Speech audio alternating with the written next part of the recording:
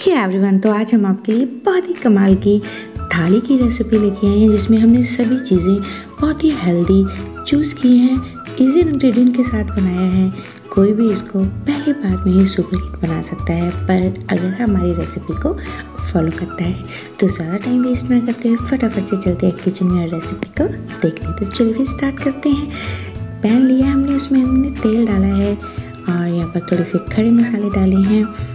उबले हुए आलू लिए हैं। उसको हमने कुक करना है बढ़िया सा कलर आने तक। तो लो मीडियम फ्लेम पर हम इसको कुक करने वाले हैं। बीच बीच में चला लेंगे। बहुत ही बढ़िया सा कलर आलू का आ चुका है। आप देख सकते हो तो डाइस्ड अनियन हमने डाल दिए हैं। इसको भी हमने कुक करना है। बहुत ज़्यादा ऐसे कुक नहीं करना कि ये गल जाए एकदम से। ये थोड़े खड़े खड़े रहने चाहिए।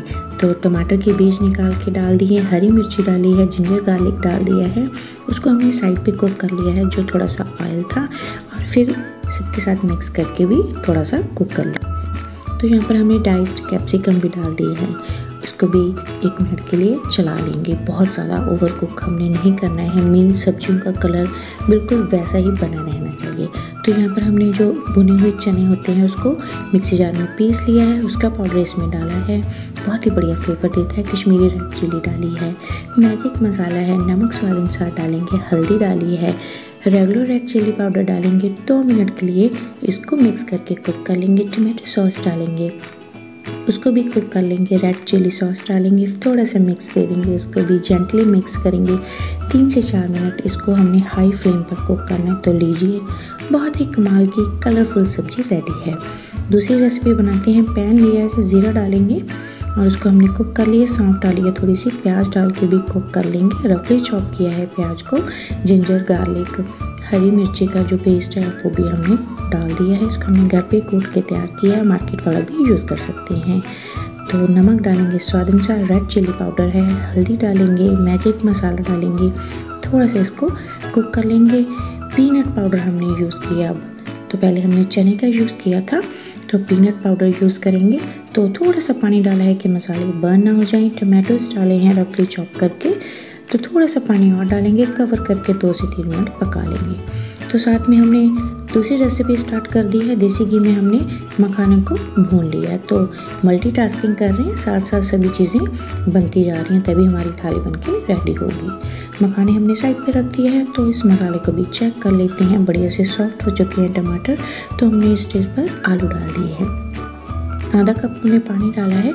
मूली की पत्ते की सब्ज़ी बनाने जा रहे हैं। बहुत ही कमाल की बनती है। एक बार बना के ज़रूर देखना। इसको हम इसमें मिक्स करेंगे, सात से आठ मिनट कवर करके रख देंगे। सभी चीज़ें बढ़िया से कुक हो जाएँगी सॉफ्ट हो जाएँगी। तो साथ साथ सब्ज़ी बनती रहेंगी। तो साथ में हमने दूध रख दिया है। उसमें हमने मखाने को वन फोर्थ पार्ट पाउडर कर लिया था, इलायची पाउडर डाला है। उसको पहले ही डाल देंगे, बहुत ज़्यादा गर्म दूध में सभी चीज़ों की गांठें पड़ जाती हैं। तो सब्ज़ी हमारी बन के रेडी हो गई है। दूध हमारा साथ साथ गर्म हो रहा है। तो लीजिए, सब्ज़ी रेडी है। तो अब हमने सब्ज़ी को साइड पे रख दिया तो वो वाले बर्नर पे हमने ये हमारी जो डिज़र्ट बन रही है, वो रख दी है। तो यहाँ पर हमने मखाने जो रोस्ट करके रखे थे, वो भी डाल दिए हैं मिक्स कर दिया इसको। ही अच्छे से स्टर करना बहुत ज़रूरी है, क्योंकि हमने मखाने का जो पाउडर डाला है ना, वो पेस पर जाकर चिपक सकता है। तो आप ये ध्यान रखें फ्लेम को लो मीडियम रखें बीच बीच में चलाते ज़रूर रहिए। तो यहाँ पर हमने फ्लेवर को और इन्हेंस करने के लिए थोड़ा सा कस्टर्ड पाउडर दूध में मिक्स करके डाल दिया है और इसको भी हम चलाते जाएँगे। दो बार डालेंगे, एकदम से ना डालें, क्योंकि कस्टर्ड पाउडर बेस पर जाकर बैठ जाता है। तो हमारी जो डिज़र्ट बन रही है, वो गाढ़ी होने स्टार्ट हो गई है। मिक्स करते रहें इसको, अपनी चॉइस के कोई भी नट्स डाल सकते हैं। मैंने यहाँ पर बादाम डाले हैं। दूध गाढ़ा होना शुरू हो गया साइड पर चिपकने लग गया है। तो अपने ध्यान रखना है, इसको स्टर करते रहेंगे हम। बहुत ज़्यादा गाढ़ा नहीं करेंगे, क्योंकि ठंडा होने के बाद और गाढ़ा हो जाएगा। चीनी डाल के, गैस बंद करके, ठंडा करके फ्रिज में रख देंगे। तो यहाँ पर हमने साबुत मूंग लिए हैं, इसको दो घंटे हमने गर्म पानी में सोख किया था। चार कप पानी डाल के कुकर में डालेंगे, टमाटर है, जिंजर डालेंगे और इसके साथ हमने गार्लिक डाला है, नमक, स्वाद अनुसार डालेंगे, हल्दी डालेंगे, रेड चिली पाउडर डालेंगे, थोड़ी सी हींग भी डाल दी है, देसी घी डाल देंगे, जिसके साथ सब्ज़ी का दाल का फ्लेवर बहुत ही कमाल का आने वाला है और हमारा कुकर का ढक्कन बिल्कुल गंदा नहीं होगा। तीन मिसल देंगे हाई फ्लेम पर और थर्टी मिनट के लिए बिल्कुल लो फ्लेम पर रख देंगे। दाल बहुत ही कमाल की बनने वाली है। तो चलिए फिर तब तक हम बीट रूट का रायता बना लेते हैं। बीट रूट को ग्रेट करके हमने वन फोर्थ कप पानी में इसको बॉयल करने के लिए रख देना है। फिर बिल्कुल ठंडा कर लेंगे इसको एकदम, क्योंकि हमने इसको मिक्सी में डाल के इसको पीसना है।